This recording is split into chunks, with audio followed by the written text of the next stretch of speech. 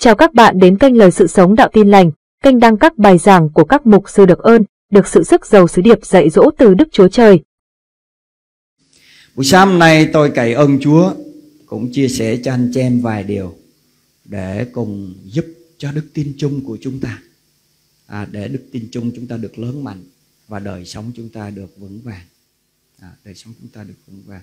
Và tôi lấy cái chủ đề là à, kế hoạch thành công của chúng ta là gì? Mà kế hoạch thành công của chúng ta là gì? Sống ở trong đời này ai cũng muốn mình thành công.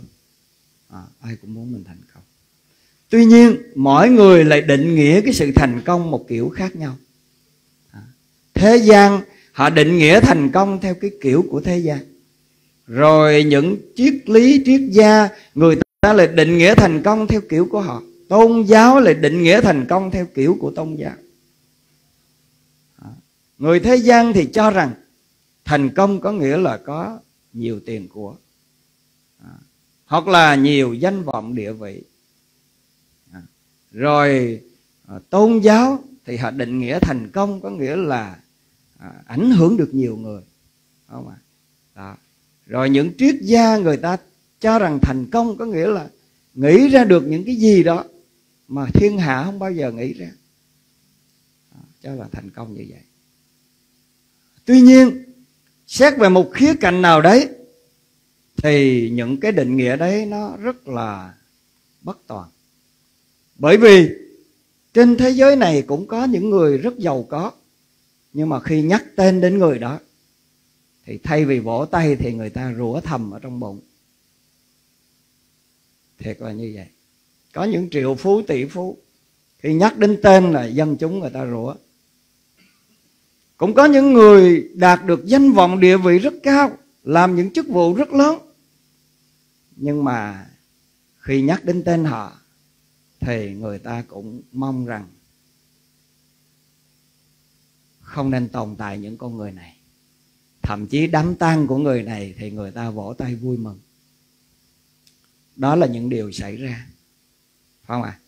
cho nên suy cho cùng, tôi thấy rằng nếu tìm đâu được một cái cái cái sự hướng dẫn để định nghĩa thế nào là thành công đúng nghĩa, thì tôi thấy rằng cái quyển sách chúng ta cầm trên tay đây là quyển sách đáng tin cậy nhất để định nghĩa thế nào là sự thành công. Không à thành công. Cho nên, ngày hôm nay có thể chúng ta sẽ cùng tự hỏi nhau, thế kế hoạch thành công của chúng ta là gì? À, anh em có thể vỗ vai người bạn của mình người vợ của mình người chồng của mình. Và anh em có thể gặp ngồi đường gặp nơi quán cà phê hay gặp nơi đâu. Anh em hỏi thế kế hoạch thành công trong cuộc sống của anh của chị là gì? Và có lẽ anh chị em sẽ nhận được rất là nhiều những câu hỏi khác nhau. À, câu hỏi khác nhau.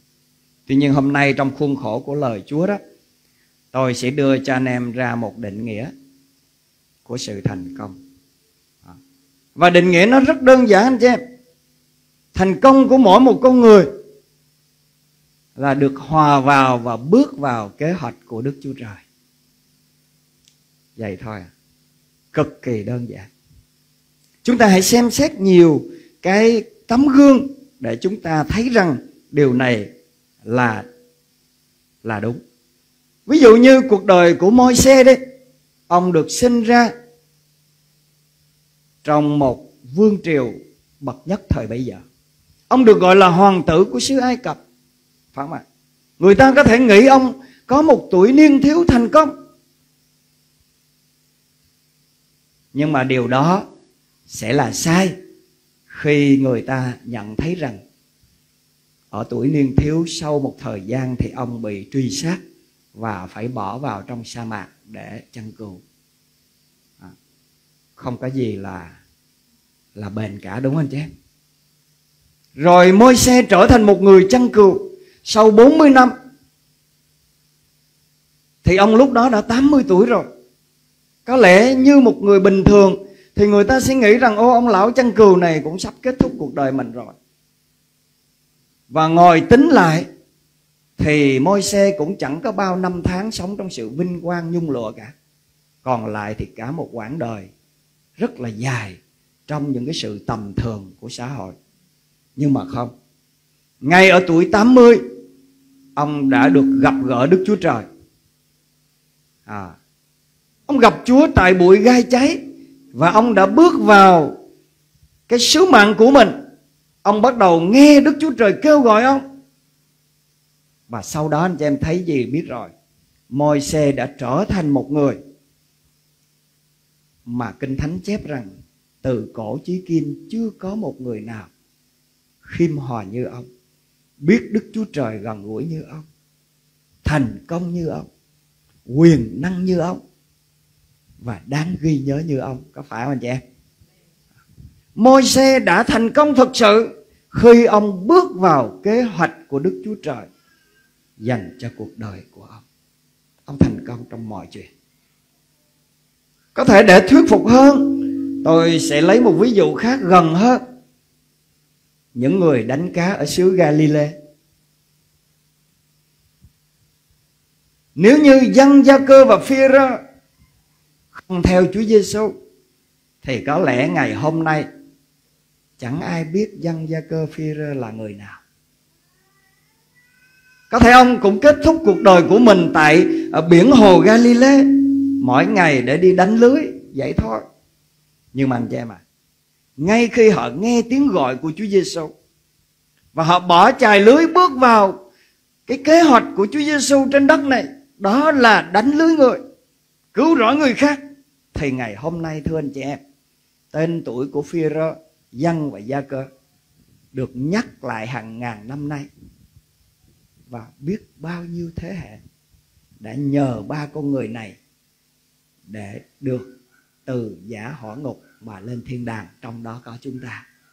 Có phải không chứ đó là thành công cho nên tóm lại tôi muốn nói một điều rằng thành công định nghĩa đúng ở trong kinh thánh là mỗi một con người nào bước vào kế hoạch của đức chúa trời dành cho cuộc đời mình thì người đó là người thành công. Tôi chẳng quan trọng người đó có tiền hay không tôi chẳng quan trọng người đó có nhà, có đất, có danh vọng, có được vỗ tay, có được đám đông, khen ngợi hay không, tôi không cần biết. Nhưng mà nếu người đó thực sự ở trong kế hoạch của đức chúa trời, người đó là người thành công. Có những con người ở trong kinh thánh, họ chết chém đấy chứ, họ bị cưa xẻ đấy chứ, họ bị tù đầy đấy chứ, họ bị bỏ đói, họ bị rất là nhiều thứ, nhưng mà đức chúa trời vẫn gọi họ là người thành công như sứ đồ Phaolô chẳng hạn. Nếu nhìn theo quan điểm thế gian, thì Phaolô là người thất bại. Lẽ ra ông có những danh vọng trong tôn giáo của ông. Nhưng ông bỏ tôn giáo ông ông đi theo Chúa Giêsu và cuối cùng, ông bị chết nơi trong ngục tù của xứ La Mã. Một đời phục vụ Chúa không vợ không con, không tiền không bạc nhưng mà anh em à Chúa nói ông thành công. Bởi vì thành công của ông nằm trong kế hoạch của Đức Chúa Trời. Và rồi trong trời mới đất mới, trong cõi tương lai, anh chị em sẽ thấy sứ đồ Phaolô đầy vinh hiển và mão triều thiên ở trên đầu của ông. Cái đó mới là vấn đề mà chúng ta suy nghĩ ngày hôm nay. Cho nên anh chị em, chúng ta có thể lại tự vấn vào lòng mình. Kế hoạch thành công của tôi ngày hôm nay là gì? Và câu trả lời là hãy bước vào kế hoạch của đức chúa trời. Và bây giờ chúng ta đi đến một phần khác. Vậy thì bước vào kế hoạch của đức chúa trời như thế nào? Có lẽ hôm nay anh chị em mình ngồi đây và nhiều những cái câu hỏi à, từ lúc mình mới tin chúa cho đến hôm nay. Lạy chúa con phục vụ chúa làm sao đây? Làm sao con biết ngài kêu gọi con? Con làm sao để bước vào kế hoạch của ngài? Hôm nay tôi cậy ơn chúa để chia sẻ cho anh em cái quá trình của đức chúa trời cho cái việc này. À. đức chúa trời của chúng ta luôn luôn có một cái quá trình. À, quá trình. Ngài không làm cái gì một cách ngẫu hứng. Ngài không làm cái gì một cách như chúng ta thường làm. Sáng thức dậy uống cà phê một cái thấy hứng khởi quá thôi ta bắt đầu việc này. Không có. Chúa không làm việc kiểu đó nhưng đức chúa trời làm việc luôn luôn có cái quy trình, cái quá trình của ngài. Và không ai được nhảy cốc trong cái quá trình đó. Khi chúng ta đã bước vào quá trình của ngài, thì chúng ta phải chịu ảnh hưởng những cái gì mà đức chúa trời đã định. Hầu cho từ một con người không xứng đáng, ngài sẽ đào tạo chúng ta trở thành một con người xứng đáng cho kế hoạch của ngài và anh chị em ơi, tôi muốn chia sẻ điều này với tất cả những anh chị em nào đang có một khát vọng trong lòng rằng lạy Chúa, cuộc đời ngắn ngủi. Con muốn sống thành công cho Ngài. Con muốn sống thành công trong Ngài. Con muốn sống thành công theo kiểu của Ngài. Thì hôm nay tôi sẽ chia sẻ quá trình đó cho anh chị cái điểm đầu tiên mà tôi muốn nói cho anh chị em biết rằng, Đức Chúa Trời luôn luôn hành động ở đâu đó trên đất này luôn luôn. Ngài luôn luôn có những kế hoạch, có những chương trình cho một gia đình, cho một cá nhân, cho một cộng đồng, cho một thành phố, cho một quốc gia, thậm chí cho một châu lục. Ngài luôn luôn có chương trình.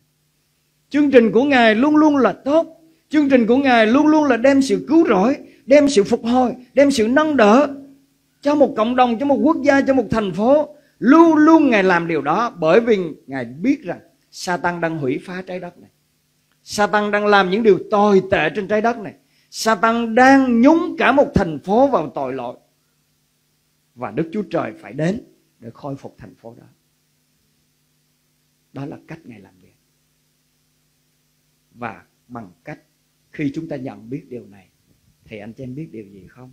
Bước đầu tiên, trong cái bước để đi vào trong kế hoạch của Đức Chúa Trời là hãy nhận thức rằng Chúa luôn luôn hành động xung quanh chúng ta. Chúa hành động không phải vì một cá nhân nào Chúa hành động không phải bởi vì là, ô, Ngài kêu gọi môi xe cho nên là Ngài phải cứu dân Israel không? Hiểu ngược lại mới đúng. Ngài cứu dân Israel, cho nên Ngài mới kêu gọi môi xe. Anh chị em hiểu ý tôi không ạ? À? Bởi cớ Ngài yêu thương đất nước Việt Nam này. Ngài muốn dân tộc chúng ta lên thiên đàng. Cho nên Ngài kêu gọi chúng ta. Chứ không phải vì chúng ta mà Ngài cứu dân tộc Việt Nam. Nghĩ vậy là nghĩ ngược rồi. Nghĩ ngược vì châu Phi cho nên Chúa đã kêu gọi ri hập bên kia vì châu Phi. Cho nên chúng ta hãy đặt mình vào cái tình huống đừng nói rộng quá, thôi nói tại đất nước mình. Chúa ơi, con biết Ngài đang hành động tại quê hương con. Con biết rằng thần của Ngài đang bắt đầu giải cứu chữa lành để tẩy sạch đất nước con. Khỏi thần tượng, khỏi bệnh tật, khỏi đói nghèo khỏi những cầm buộc của ma quỷ con biết ngài đang làm. Ngài đang làm. Ngài đang làm từ bắc chí nam ngài đang làm từ miền tây cho đến tận miền trung ngài đang làm từ miền cao cho đến miền thấp. Con đi nơi nào con cũng thấy bàn tay và phép lạ của ngài. Con biết ngài đang hành động chúa ơi. Và chúa con muốn tham gia vào kế hoạch đó. Đây là khởi đầu của người muốn hầu việc chúa. Hãy nhận biết kế hoạch của đức chúa trời. Đôi khi có những anh chị em bảo ôi, tôi muốn hầu việc chúa. Tôi muốn làm việc ngài. Tôi muốn phục vụ ngài. Mà hỏi, thế phục vụ gì? Không biết. Vậy là chưa được. Chưa được. Cái người thật sự mà được đức thánh linh gõ cửa đó người ta biết đức chúa trời đang làm cái gì. Và người ta muốn tham gia vào cái đó. Đó là thật sự đến từ chúa. Còn đôi khi chúng ta mong lung lắm. Thấy bảo hầu việc Chúa mình cũng muốn hầu việc Chúa. Rồi hỏi hầu gì à? chẳng biết hầu gì. Thế là chưa được nha anh chị. Cho nên tôi nhắc lại bước đầu tiên anh em hãy nhận ra kế hoạch của Đức Chúa Trời cho một thành phố, cho một quốc gia, cho một gia đình, cho một cộng đồng. Nhận ra đi. Rồi anh em nói Chúa à, con thấy lòng con cảm động về chương trình này. Chúa ơi, hãy cho con bước vào đó. Hãy cho con vào đó Chúa. Con muốn tham gia vào đó. Ví dụ như Chúa dựng hội thánh nhà muôn dân lên. Không phải là vì Chúa yêu hay là vì Chúa uh, tây vị hội thánh nhà muôn dân. Không phải. Nhưng bởi vì cái nhu cầu của cộng đồng dân tộc chúng ta về sự giải cứu chữa lành quá lớn. Cho nên Ngài phải dùng một cái hội thánh, Thậm chí hội thánh không có cái gì cả. Từ những con người đơn sơ, chẳng có bằng tiến sĩ thần học nào cả, cũng chẳng có bằng thạc sĩ thần học nào cả. Đúng không chứ? Nhưng ngài dùng những con người đơn sơ này như ngày xưa ngài dùng những con người đánh cá để rao giảng phúc âm cho cả dân tộc Israel thì hôm nay Chúa cũng thể sử dụng những con người đơn sơ như chúng ta để giải phóng, để chữa lành, để phục hồi, để bày tỏ một Chúa phục sinh cho dân tộc chúng ta được biết. Vì cớ đất nước chúng ta. Vì cớ những người dân ở tại Sài Gòn này. Vì cớ những người ở tại miền Tây. Vì cớ những con người đang ở trong gông cùm và xiên xích của ma quỷ. Mà Chúa phải sử dụng kêu gọi chúng ta để rồi ngày mượn cánh tay của chúng ta ngày mượn cái miệng của chúng ta ngày mượn những thời gian của chúng ta để giúp cho những con người đó được tự do. Đó là bước đầu mà Chúa kêu gọi một người hầu việc Chúa. Bước đầu tiên, anh em phải nhận thức điều đó. Bước thứ hai, bước thứ hai, chưa đâu khi anh chị em được cảm động trong lòng, đừng vội rằng, ô, con sẽ xông vào ngay. Không có chuyện đó. Khi Đức Chúa Trời kêu gọi phi rơ dân và gia cơ, Ngài nói rằng, Hãy theo ta đi. Ta sẽ làm cho ngươi trở nên tay đánh lưới người. Có đúng không chị Nhưng mà họ đánh lưới người ngay chưa? Chưa. Còn lâu. Còn rất lâu. Ba năm rưỡi sau lận. Cho ngay lúc đó họ còn chẳng hiểu đánh lưới người là cái gì. Nhưng mà họ vẫn theo Chúa. Đi theo Chúa. Và họ ở với Chúa nè. Ăn cùng với Chúa. Trò chuyện với Chúa. Ngồi dưới bề chân của Chúa. Chia sẻ những vui buồn với Chúa. Tôi gọi đó là mối quan hệ với Đức Chúa Trời. Cho nên bước thứ hai, khi chúng ta bước vào cái kế hoạch của Đức Chúa Trời là xây dựng mối quan hệ với Đức Chúa Trời. Và ở đây tôi thấy rằng xây dựng mối, mối quan hệ với Đức Chúa Trời không có nghĩa rằng chỉ có ngồi đó và nói lạy Chúa con yêu Ngài. Không phải vậy đâu. Không phải là những cảm xúc đâu anh chị em. Mà xây dựng mối quan hệ với Đức Chúa Trời là hãy sống một đời sống đầy đức tin cho những việc tầm thường xảy ra hàng ngày. Trong công việc, trong gia đình, đối xử với bạn bè, người thân, trong việc học tập, không à trong nghề nghiệp. Bất cứ nơi nào anh chị em đi bất cứ nơi nào anh chị em đến hãy nhận biết rằng chúa đang hành động qua mình. Đôi khi đức tin á, là không phải cái gì đó to tát dời sông lấp biển. Không phải. Đức tin nó bắt đầu từ những cái sự rất nhỏ trong cuộc sống hàng ngày là đức tin đức tin nó thể hiện ở chỗ ra, anh em dám từ chối để sống một đời sống thánh khiết mà không hùa theo những cái thói hư tật xấu của bạn bè, đó là đức tin. Đức tin là anh em dám nói về Chúa Giêsu cho cái người mà nhiều người không dám nói. Đức tin là anh em dám chia sẻ những cái kinh nghiệm mà mình có với Chúa trong một cái bối cảnh, trong một cái hoàn cảnh mà không cho phép mình nói ra hay là sợ bị à, trù dập sợ bị à, mất quyền lợi sợ bị đuổi việc sợ bị thế này thế nọ. Đức tin nó thể hiện ở đó. Và chúa muốn chúng ta bước đi với ngài mỗi ngày để thể hiện đức tin trong cuộc sống hàng ngày. Thể hiện đi. Anh phải vô công sở anh chị em. Anh làm tại cái phòng của anh chị em làm. Và mọi người xung quanh phải nhìn thấy và công nhận rằng ô đây là con người bình an của phòng chúng ta có cái gì á cứ đến hỏi anh đó là xong hết đó cho nên con người của Đức Chúa Trời có thể gọi là con người bình an. Anh chị em biết không ạ? Đi đến đâu, con người đó là con người bình an. Người ta cảm thấy rằng tiếp xúc với người đó là tin cậy lắm. Hỏi chuyện tư vấn với người đó là an tâm lắm. Vì người đó không lừa ai. Người đó chân thành. Người đó hết lòng. Đó là đức tin nha anh chị. Cho nên mối quan hệ của chúng ta với Chúa không phải là điều gì to tát. Không phải là cảm xúc chảy hai dòng nước mắt, không chỉ như vậy. Tôi đồng ý là có những sự đó. Nhưng mối quan hệ với Chúa, nó nằm ở cái biểu lộ đức tin đơn sơ của chúng ta hàng ngày. Chúa Giêsu nói rằng, ai yêu mến ta, thì giữ gìn điều răn của ta. Amen chứ. Đó là yêu thật. Vì Chúa là thần mà. Chúa đâu có cái thân xác để mà chúng ta ngồi bên cạnh uống trà rồi nói, ôi, con yêu Chúa. không có cho nên chúa là thần, chúng ta yêu ngài qua lời ngài. Chúng ta yêu ngài qua sự thờ phượng trong linh. Chúng ta yêu ngài qua sự vâng lời ở trong những điều nhỏ nhặt.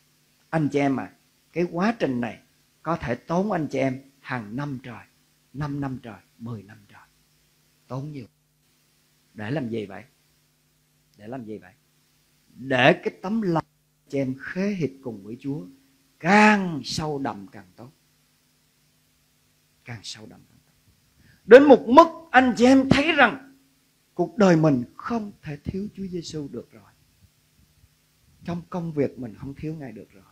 Trong gia đình mình không thiếu ngài được rồi. Trong nghề nghiệp mình không thiếu ngài được rồi. Ô, trong nhiều điều trong cuộc sống ờ, trong chuyện lấy vợ, lấy chồng mình không thể thiếu ngài được rồi. Khi anh em bắt đầu có được điều đó rồi đó, thì Chúa bắt đầu hỏi anh chị em trong văn chương 21 câu 15 đến câu 17 Chúa bắt đầu hỏi. Hỡi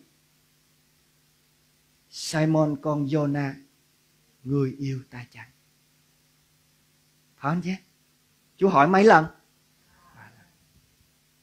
Rồi sau ba lần đó Chúa bảo phi rơ làm sao? Chăn chiên cho ta. Cho nên đôi khi chúng ta quá vội vàng để bước vào công việc mà lại chưa xây dựng mối quan hệ với Chúa. Đó là điều chúng ta đi ngược với cái quy trình của Ngài. Tôi nói thiệt với anh chị em, anh chị em không yêu Chúa đó, anh chị em không thể phục vụ Chúa được. Đó là sự thật. Tôi kinh nghiệm trong cuộc đời tôi tôi thấy à, nếu giả sử giả sử tôi không yêu Ngài bằng cả trái tim chân thành, chắc tôi bỏ chức vụ từ lâu. Thiệt sự từ lâu không bao giờ tôi còn đứng đây giảng lời Chúa cho anh chị.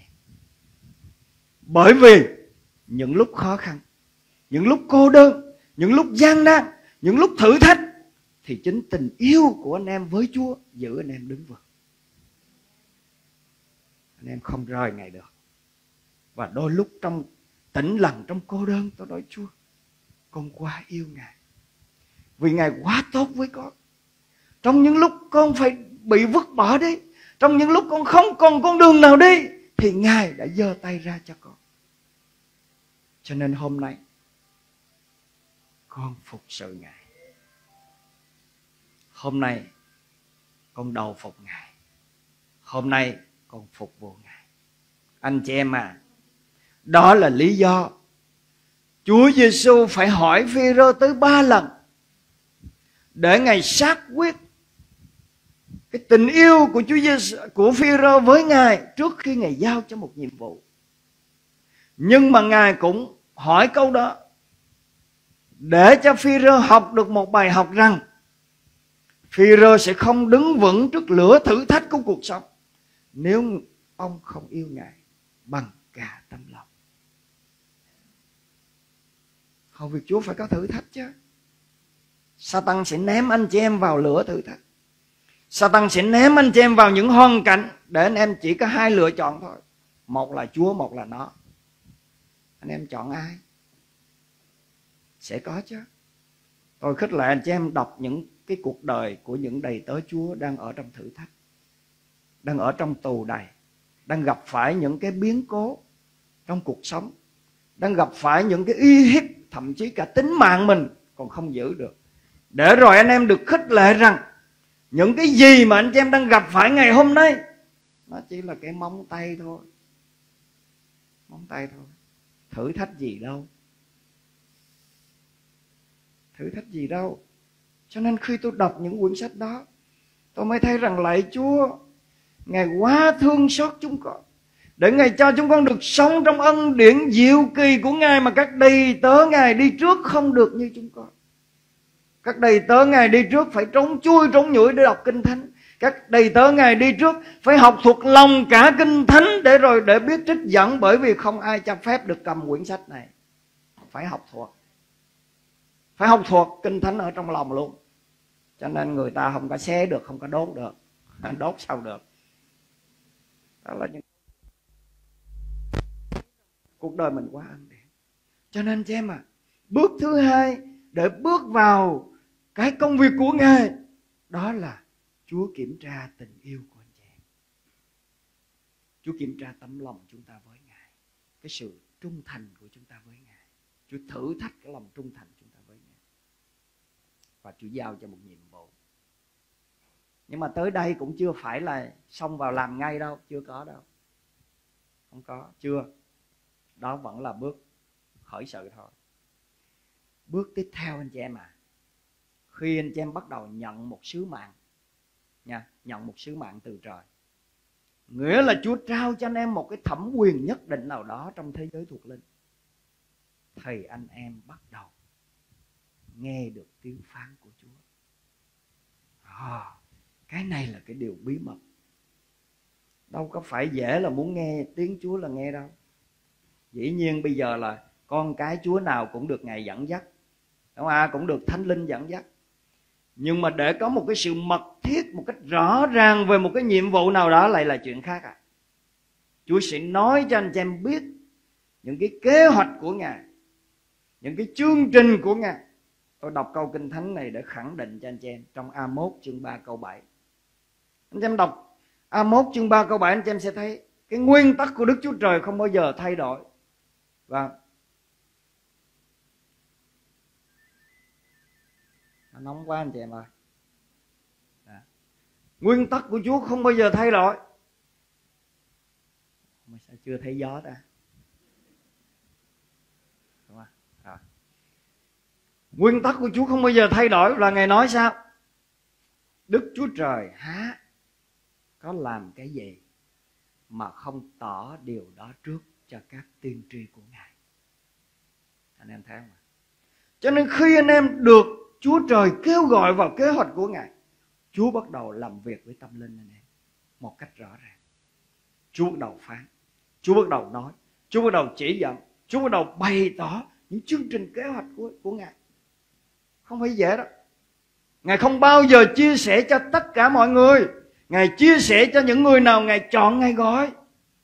Giống như anh chị em có một cái, cái dự án nào đó. Không lẽ anh chị em đem cái dự án đó anh em nói cả 15 triệu người thành phố này à? Có nói không? Đâu có.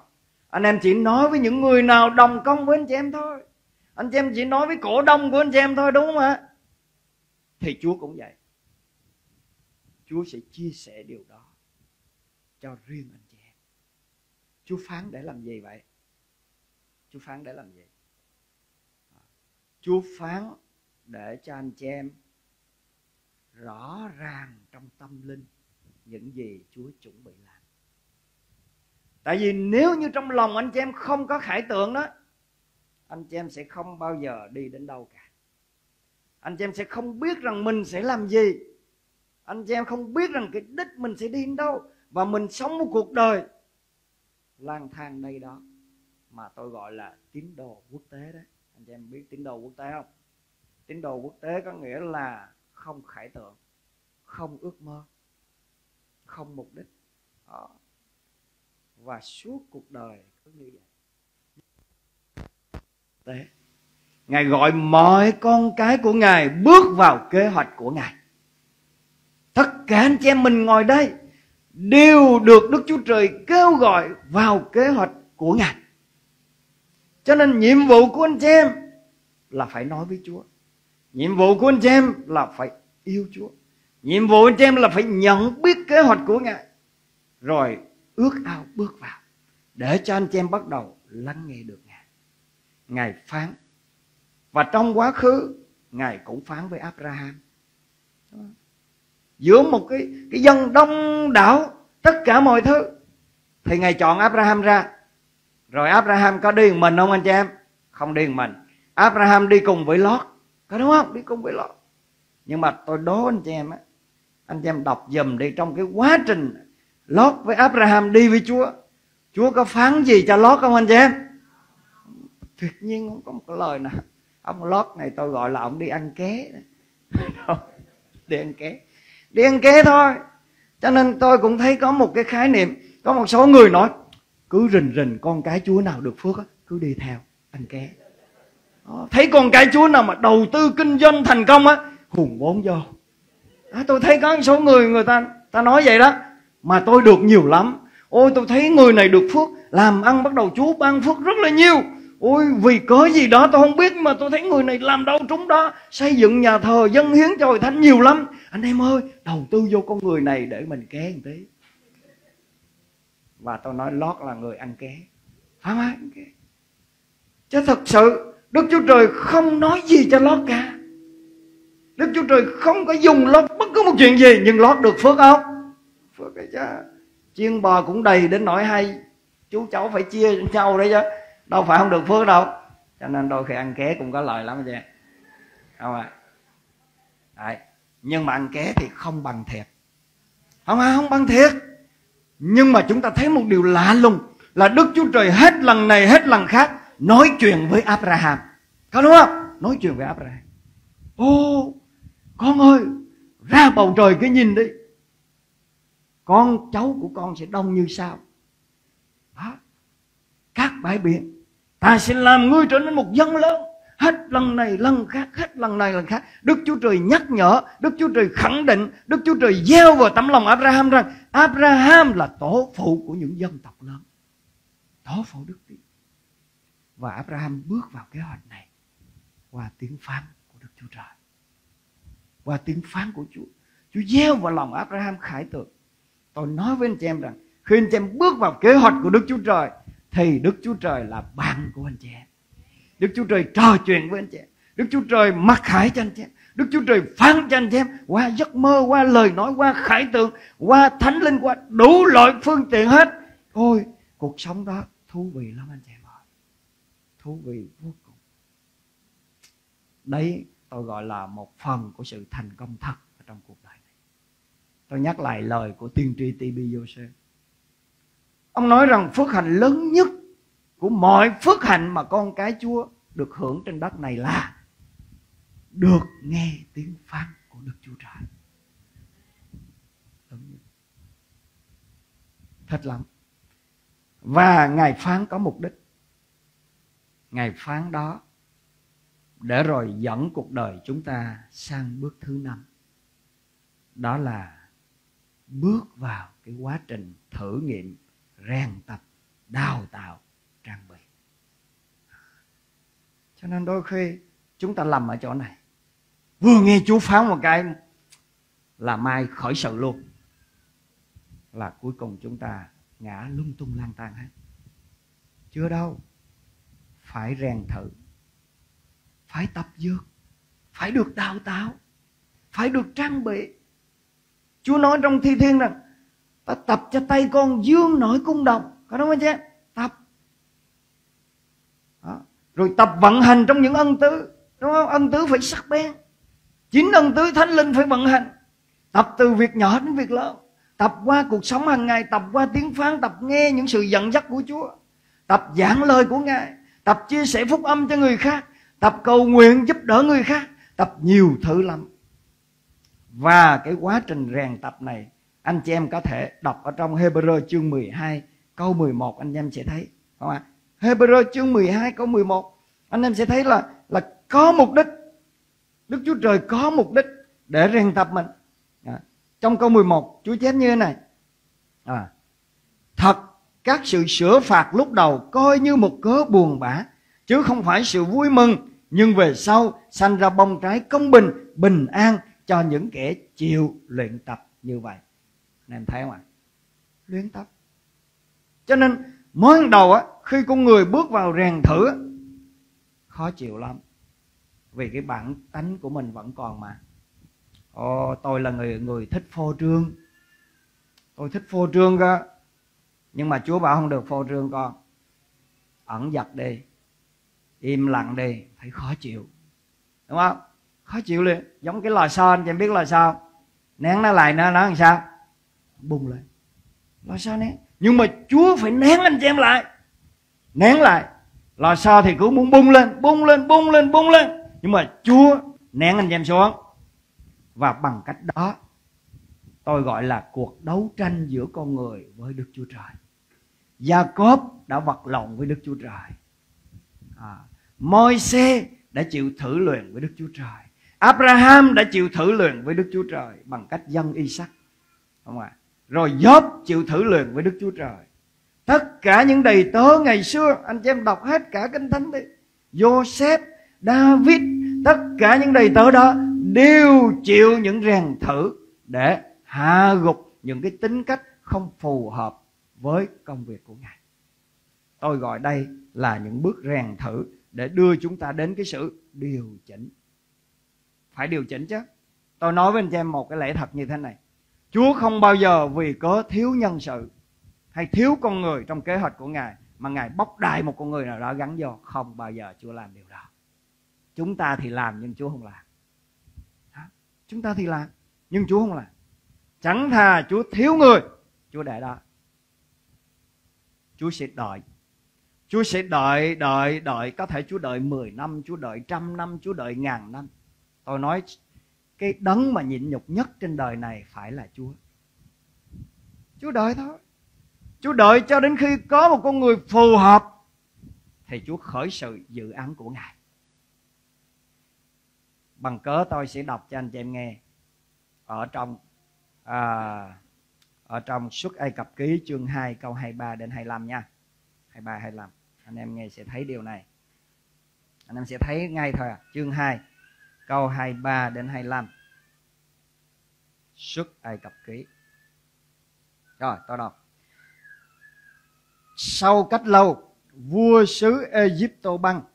Dân Israel than thở kêu vang vì phải phục dịch khổ sở. Tiếng kêu vang lên thấu Đức Chúa Trời.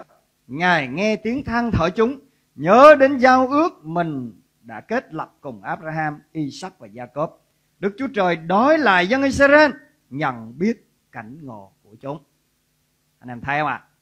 Cái sự kiện này nó xảy ra cũng cùng cái thời môi xe sinh ra. Cùng thời đó đó.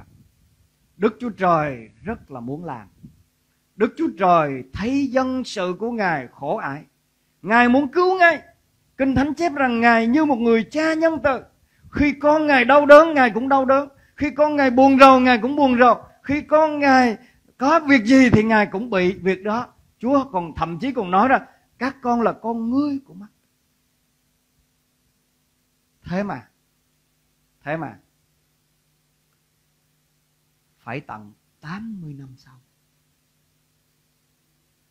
Chúa mới bắt đầu khởi sự dự án này. Anh chị em biết tại sao à vì môi xe lúc đó mới sẵn sàng. Chúa tìm kiếm một người cho dự án này. Chúa tìm kiếm một con người phù hợp cho dự án này nhưng không có. Cả dân tộc Israel không có một người nào. Toàn là những người ham ăn hụt, Củ hành củ kiệu thôi.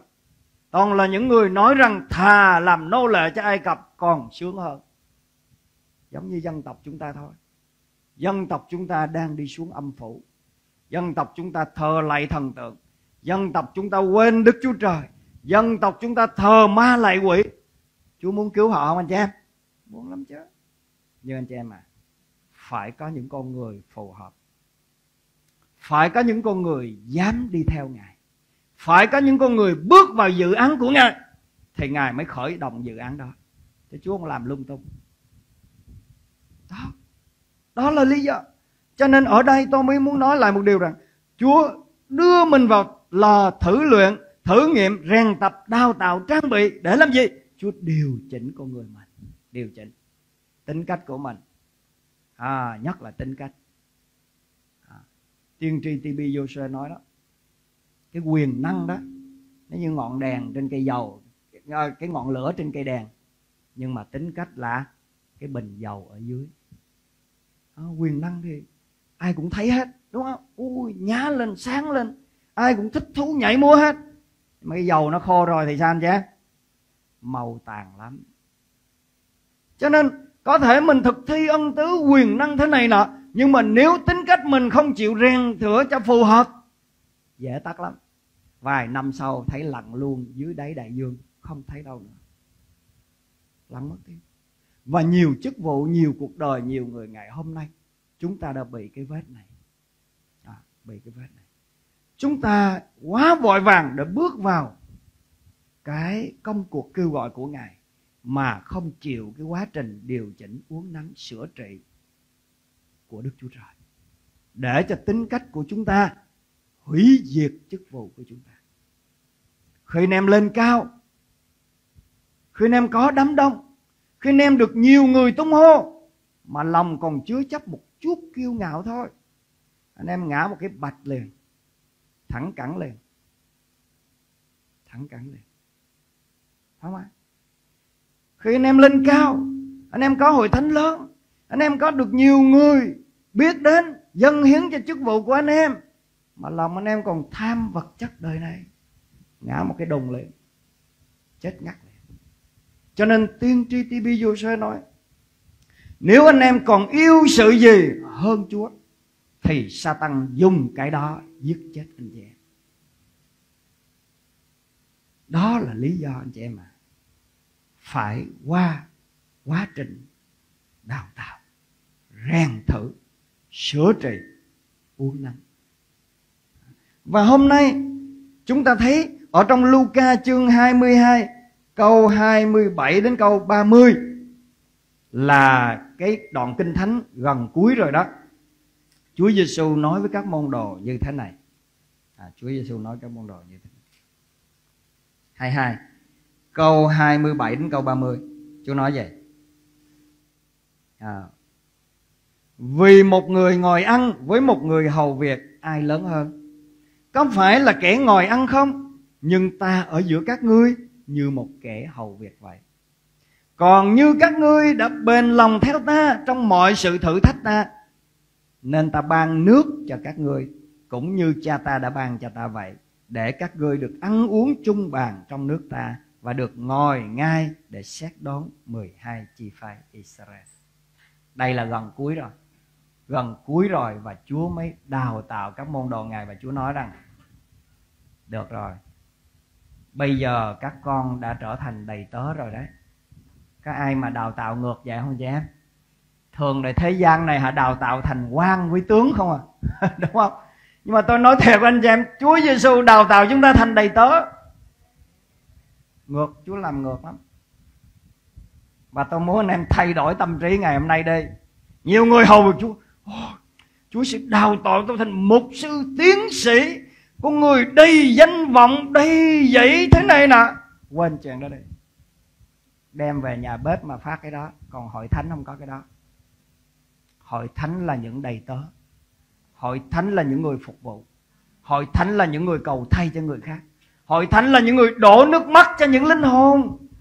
Nếu chúng ta được tấm lòng đó thì Chúa nói, ok, các con đã theo ta và bây giờ đã chịu được thử thách trong mọi sự nhịn nhục của ta được lắm. Bây giờ ta mới giao nước cho. Ta giao vương quốc của ta cho. Ta giao nhiệm vụ của ta cho. Ta giao mọi sự cho vì các con được rồi. Cho nên nhiều người ngày hôm nay không hiểu điều này. Tưởng rằng tưởng rằng à, đi theo Chúa phục vụ Chúa có nghĩa là giống thế gian này. Ngồi lên đầu lên cổ người khác cai trị người khác thống trị người khác. Không có. Đó là ngược rồi. Và đó là cái đào tạo của sa tăng đào tạo chứ không phải chúa đào tạo sa tăng nó cũng đào tạo tích cực lắm anh chị rất tích cực nếu mình không hiểu lễ thật á thì thay vì chúa đào tạo chúng ta thì sa tăng đào tạo chúng ta và nó đào tạo trở thành đạo quân phục vụ nó mà tưởng rằng phục vụ Chúa. Rất nguy hiểm. Rất nguy hiểm. Cho nên ở câu kinh thánh này chúng ta thấy một điều rằng Chúa Giêsu nói rằng ta là làm gương cho các ngươi nè. Ta ở giữa các ngươi, ta là thầy, ta là Chúa nè, nhưng ta làm đầy tớ các ngươi. Ta sẵn sàng rửa chân cho các ngươi. Ta sẵn sàng chịu tất cả các ngươi. Trong cơn bắt bớ ở vườn Gethsemane, ta sẵn sàng nói rằng bắt ta đi còn thả những người này đi. Ta hy sinh tất cả vì các con. Đó là tâm thế của một người phục vụ Chúa. Đó là tâm thế của một người phục vụ Chúa. Cho nên chị em ơi cái quá trình đào đào luyện này đòi hỏi chúng ta cần điều chỉnh. Điều chỉnh cái trật tự tấm lòng điều chỉnh cái suy nghĩ của chúng ta đã từng học ở trong thế gian. Bây giờ ngược lại hết. Kẻ nào muốn làm lớn thì làm. Đầy tớ. Làm sao mà làm lớn mà làm đầy tớ? Không hiểu được. Nhưng mà ráng hiểu đi. Bởi vì chúa muốn như thế. Chúa muốn thế. Đôi khi tôi đọc kinh thánh tôi chẳng hiểu gì cả. Chúa toàn nói nó nó ngược ngược như thế nào nhưng mà lại chúa ơi, vì ngài là chúa con nên con hiểu phải hiểu và con làm như vậy. Đó, điều chỉnh. Cho nên ở trong à, Timothy 2 chương 3 chương 2 câu 20 đến 21 nó có một cái câu như thế này. Tôi muốn đọc cho anh chị em nghe. Timothy 2 à, chương 2 câu 20 đến 21 à đây. Trong một nhà lớn không những có bình vàng bạc mà thôi cũng có cái bằng gỗ bằng đất nữa. Thứ thì dùng việc sang thứ thì dùng việc hèn. Vậy ai giữ mình cho khỏi những điều ô uế đó thì sẽ như cái bình quý trọng làm của thánh có ích cho chủ mình và sẵn sàng cho mọi việc lành. Đây là lời chúa. Đó, lời chúa. Rất là nhiều dạng người khác nhau. Và Chúa bắt đầu điều chỉnh uống nắng chúng ta. Trở thành những chiếc bình từ những cục đất sét. Chúng ta là những cục đất sét. Anh em đọc trong Jeremy chương 18 sẽ thấy. Anh em chúng ta là cục đất sét. Chương 18 câu 6 trong Jeremy chép rằng, các người há chẳng như cục đất sét trong tay thợ gốm chẳng và Chúa nắng chúng ta, Chúa uống nắng điều chỉnh chúng ta. Cuối cùng chúng ta trở thành những chiếc bình như Ngài muốn. Và nếu chúng ta thuận phục Ngài, đi theo Ngài, chịu điều chỉnh, thì chúng ta được trở nên quý trọng và Ngài sẵn sàng dung chúng ta vào kế hoạch của Ngài. Đó là điều của Chúa. Ngày hôm nay anh chị em, cái sai lầm của chúng ta là chúng ta quá vội vàng hạ thấp tiêu chuẩn của Chúa để đặt cắt đặt nhiều người vào kế hoạch của Chúa trong hội thánh, trong chức vụ, trong mục vụ và điều đó làm hủy hoại cái tiêu chuẩn của Đức Chúa Trời và sinh ra không có chất lượng gì cả ví dụ như chúa nói là một người giám mục ước muốn tốt nhưng anh phải quản trị nhà của anh. Anh chỉ chồng một vợ thôi. Anh không được nghiện rượu. Anh không được chè chén say sưa. Anh phải có tài trí dạy dỗ người khác. Anh phải lãnh đạo được. Anh phải có cái mưu luận và tiếp đãi người lành hiếu khách vân vân và vân vân. Nhưng hôm nay chúng ta vì thiếu nhân sự. À, nhân sự ở đâu chẳng thiếu. Ở đâu trẻ cho nên chúng ta bóc đại bỏ vào. À, chúng ta phong chức đại trà đi đúng không? Vì là đôi khi nói nó hơi đụng chạm tí. À, muốn lấy thành tích. Ồ, năm nay tôi phong được à, 500 mục sư. Tuyệt vời quá. Nhưng xin thưa 500 đó có đúng tiêu chuẩn kinh thánh không? Là chuyện khác nữa. Và chúng ta đã vì thành tích vì con số chúng ta hạ thấp tiêu chuẩn của Đức Chúa Trời. Chúng ta loại mình ra khỏi cái quá trình đào tạo của Đức Chúa Trời và đó là lý do hội thánh yếu đuối. Hội thánh thiếu quyền năng. Hội thánh không biến đổi thế gian này được mà ngược lại thế gian biến đổi hội thánh. Đó là lý do. Cho nên tóm lại anh chị em à, có mấy điều mà tôi muốn chia sẻ cho anh chị em ngày hôm nay. À, là gì? Thứ nhất, thành công theo kiểu của Chúa trong mỗi đời sống chúng ta là được bước vào kế hoạch của Đức Chúa Trời. Anh em nhớ câu đó ha, đó là thành công kiểu Chúa. Cho nên thế gian nó nhiều kiểu lắm, nhưng mà cứ định nghĩa đúng kinh thánh. Mình đọc cả kinh thánh mình sẽ thấy con người nào bước vào kế hoạch của Đức Chúa Trời người đó thành công. Vậy thôi. Tiền bạc không tính, danh vọng địa vị không màng, tất cả mọi sự không màng. Cứ Đức Chúa Trời hành động qua người đó, người đó thành công bước vào kế hoạch của Ngài. Bởi vì mục đích chúng ta không phải ở đời này. Mục đích chúng ta ở cõi đời đời. Và Ngài dùng chúng ta cho cõi đời đời. Ngài đào tạo chúng ta cho cõi đời đời. Vinh quang chúng ta ở cõi đời đời. Phần thưởng chúng ta ở cõi đời đời. Amen chứ? Đó là điều mà chúng ta cần phải xác định. Chúng ta hãy sống đúng những gì mình tin. Đừng tin một đường mà sống một nẻo. Tin một đường sống một nẻo. Cho nên tôi rất khâm phục sứ đồ Phaolô ông nói một câu, chết là ít lời cho tôi. Vì khi tôi ra khỏi xác này, tôi gặp Chúa Giêsu tôi khỏe quá. Nhưng mà tôi ở trong xác này, tôi khổ lắm, khổ ghê lắm, nhưng mà ít lời cho anh em. Tôi còn giảng được cho anh em. Tôi còn cầu nguyện được cho anh em. Tôi còn phục vụ được cho hội thánh. Tôi khổ lắm, nhưng mà tôi phải ở trong xác này. Cho nó mà tôi ra khỏi xác là tôi khỏe ghê lắm ông tin thế nào, ông sống thế đó. đó. Cho nên nhiều người ngày hôm nay con cái chúa à, chạy xong cuộc đua về với chúa nhưng mà đề nó rất mâu thuẫn xin chia buồn. Không hiểu. Chẳng hiểu được là, là chia buồn là buồn gì ở đây. Không hiểu. Nó rất mâu thuẫn. Đáng lý tôi đến những đám tang đó tôi viết một cái phong bì tôi xin chia vui cùng với gia đình. Rồi người ta muốn nói gì đó nói với tôi sống đúng niềm tin của tôi ấy một người chạy xong cuộc đua dưới đất về thiên đàng mà chia buồn là chia kiểu gì? Tôi chẳng hiểu buồn ở đâu mà chia. Nó rất là nhiều cái mâu thuẫn phải không chứ sống đúng niềm tin. Tin sao sống vậy? Đó chính là đức tin. Đó. Nói nó cũng vui nhưng mà có thể đụng đụng chạm nhiều người. Xin quý vị hãy hiểu cho. Nói đúng lời Chúa để biến đổi tâm trí chúng ta. Amen. À, biến đổi tâm trí chúng ta yeah. Và điều, những điều tôi chia sẻ, tôi chốt lại ở đây anh chị em. Đầu tiên chúng ta hãy nhận biết kế hoạch của ngài, kế hoạch chung của ngài. Chúa không vì một con người nào hết á. Chúa vì cái cái cõi sáng tạo của ngài. Rồi chúng ta chỉ là nhân công của ngài thôi. Chúa không có tay vị người nào hết. Chúa không có yêu người nào hơn người nào hết. Tất cả bằng nhau trước mặt ngài. Và điều đầu tiên là chúng ta phải biết kế hoạch của ngài và nhận ra để rồi bước vào mối quan hệ với ngài. Tôi gọi đó là mối quan hệ yêu thương, mối quan hệ nhận biết chúa, mối quan hệ bày tỏ đức tin trong cuộc sống hàng ngày. Đó là bước đầu tiên. Bước thứ hai là khi cái bước này đã qua rồi, thì đức chúa trời bắt đầu gõ cửa tấm lòng bạn, mời bạn bước vào kế hoạch của ngài ở nơi bạn sống hay là ở nơi nào đó mà ngài đang muốn kêu gọi bạn? Đó là bước thứ hai. Tôi muốn anh chị em hãy cứ đáp ứng lời kêu gọi đó. Bước thứ ba, khi anh em đáp ứng bằng cả tấm lòng và nhiệt huyết, thì chúa bắt đầu phán cho anh chị em. Chúa bắt đầu chia sẻ khải tượng. Chúa bắt đầu nói trong tấm lòng anh chị em, qua giấc mơ, qua sự hiện thấy, qua ân tứ thánh linh, qua nhiều điều và anh em bắt đầu thấy đời sống mình đầy dậy siêu nhiên.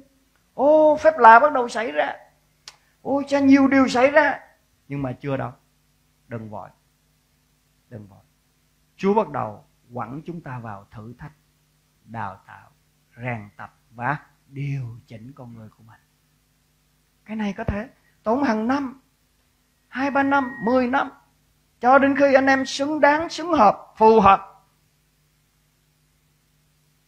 Thì chúa lúc đó mới bắt đầu đưa anh chị em vào sự vâng lời và kinh nghiệm ngài một cách siêu nhiên. Kinh nghiệm ngài một cách thành công trong chức vụ. Kinh nghiệm ngài một cách mỹ mãn. Kinh nghiệm ngài một cách sâu nhiệm. Và cứ như vậy anh em tiến lên tiến lên. Cứ bước đi, cứ điều chỉnh, cứ chịu rèn tập, cứ như vậy. Cho nên đừng đốt cháy giai đoạn nha anh chị em, đừng đốt cháy giai đoạn tôi thấy ngày hôm nay nhiều anh chị em mới tin chúa được thánh linh thăm viếng lòng rao rực và muốn vứt bỏ tất cả. Đi ngay. Tôi đảm bảo cho em ra kia là sụp xuống hố liền. Không đi được. Từ từ đã. Đừng nóng. Không, đừng nóng. Hãy hạ nhiệt xuống một chút. Đừng bình tĩnh. Hết sức bình tĩnh. Và nói với chúa rằng con bình tĩnh. Hết sức bình tĩnh để cho ngài uống nắng con. Đúng không? Mình ở thế gian này đầy dẫy đủ thứ hết. Chính bản thân mình còn cảm thấy không ưa mình thì chúa sao ưa mình được? Cho nên là đôi khi mình phải uống nắng đấy mình phải sửa đổi, giống như tôi 30 năm trước. Đúng bây giờ tôi nhìn lại, con người cũ tôi 30 năm trước tôi không ưa được. Chính mình còn ghét mình, cái thằng đó là tôi đập cho nó chết luôn. Mà đúng giờ nó chết rồi. Trương quý bây giờ chết rồi. Ai hỏi tôi nói chết xanh cỏ rồi. Giờ ông này ông khác. À, cũng cái xác đó thôi nhưng mà người khác. Người mới của chúa. Một con người biến đổi của chúa. Đúng không? Như vậy mới phù hợp. Và những cái quá trình đó, anh chị em à đôi khi nó đau đớn, nó nhiều thăng trầm, nhiều nước mắt lắm. Nhiều vấp ngã lắm. Lên đèo xuống dốc lắm. Nhưng mà anh chị em tin tưởng đi, chúa chúng ta rất nhân từ.